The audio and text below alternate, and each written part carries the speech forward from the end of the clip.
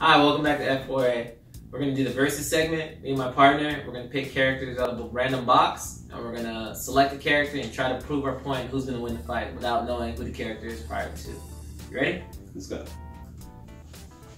Batman's in here somewhere. Ah, Superman, Superman. All right, you got it. All right, I'm good.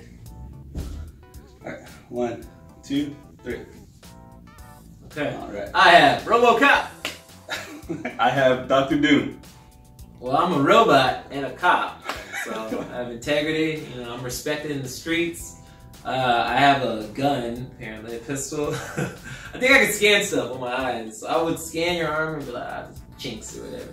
I think I can. Um, I'm pretty sure I have a motorcycle that goes really fast with weapons on it, so you know, mobile. So yeah, some of my points. Okay. I think I'm Doctor Doom, Okay. and I think that's like the Doom for RoboCop. Like he has no chance. There's literally no chance that he could win. Um, he could take on the Fantastic Four. He could take on maybe four uh, robbers or something. I don't know. Maybe five maybe Five. Maybe Five five. So uh, I think I got this one in the bag pretty easy.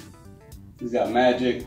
You got okay. But I can, I feel like I can rebuild myself, and I have like a robot canine, like I'm in a canine force. So I have help. I So- call in other cops for help, robot cop, robot cop force or something. I feel like I feel I'm a successful dude. Hmm. I have multiple films. So. I feel like I have my own castle full of a whole bunch of like bad guys. Oh, those break easy. Yeah. Like Doombots, those uh, anybody can break.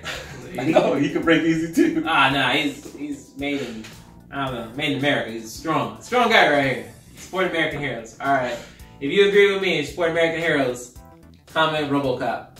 If uh, you know what you're talking about, then comment Dr. Doom. He's not American though. Thank you for uh, subscribing and stay tuned for the next battle.